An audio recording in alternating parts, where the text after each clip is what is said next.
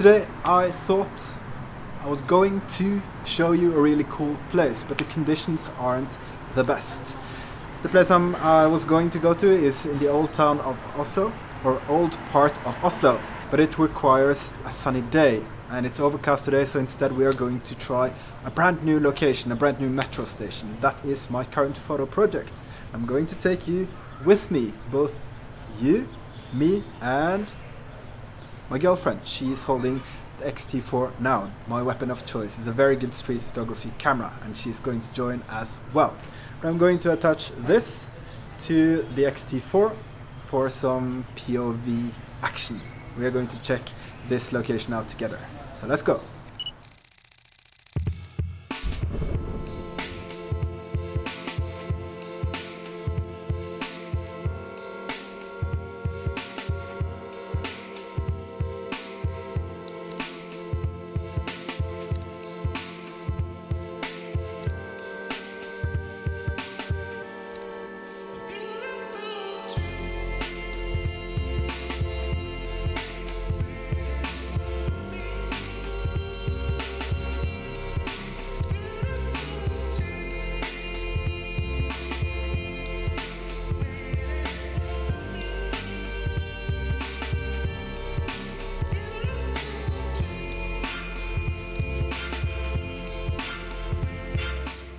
Tøyen proved to be more of a challenge to photograph, with mostly empty platforms and exits.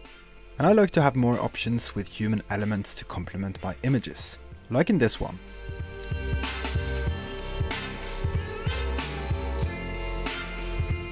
And the day we shot this was also a public holiday. In other words, very few people in and around this station, After several successful sessions last week with high contrast images, I was almost feeling impatient for not getting the photos I had in mind. Maybe it was the weather, or lack of creative mojo that day.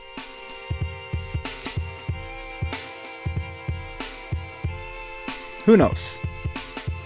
But I ended up teaching Ilda a few things about slow shutter speeds. So we tried that out.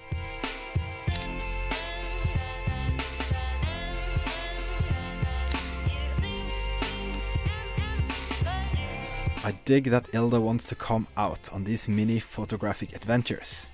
And maybe we'll do another video with her street photography. Let us know what you think in the comments.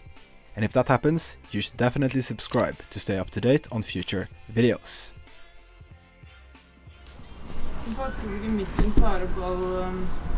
I think I prefer to have these high contrast images on sunny days, but uh, it is part of the adventure.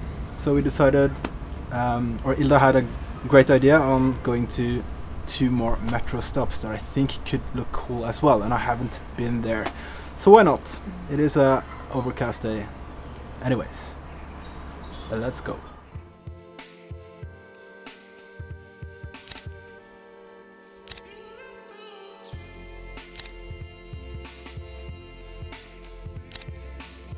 Not much going on here either apart from a few more shots of Ilda that was getting increasingly impatient.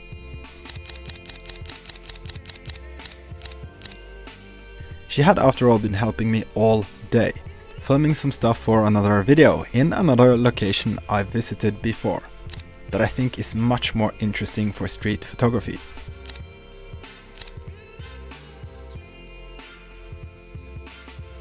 And you can only take X amount of escalator and empty hallway photos before it gets out of fashion.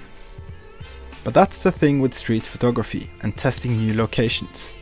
You just never know what to expect. Weather, architecture, time of day, is it crowded, is it not crowded? Each of these factors makes up so many variations when combined. And the best thing is to just go there, test it out, take notes, and maybe come back another day.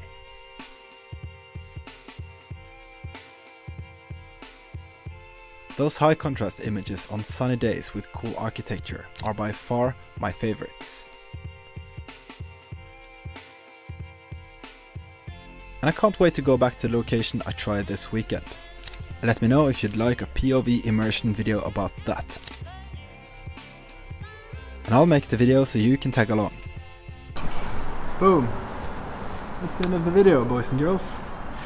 Um, yeah, well, today wasn't the best day, but at least I got to cross off a few stations that I'm not not going back to, probably.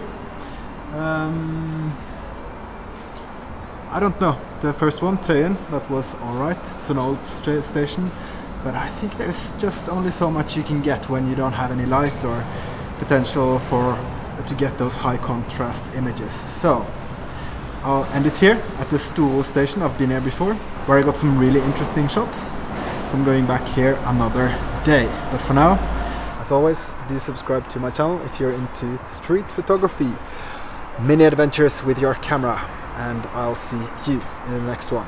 Let me know what you think of the images in the comments, and uh, see you soon. Thank you so much for watching and here are my favorite images from the session. Just a couple of hours out and about in Tøyen, Nydalen and Storo metro stations. Let me know which ones you liked the best and I'll see you in the next video. Also remember to subscribe, like and share this video. Cheers! Bye bye!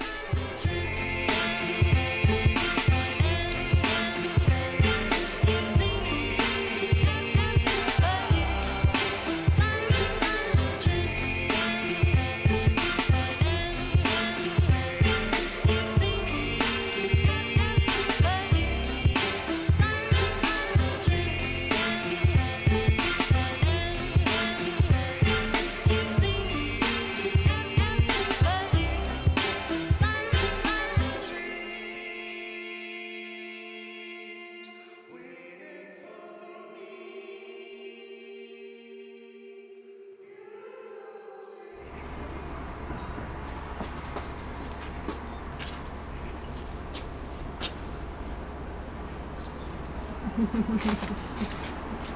you.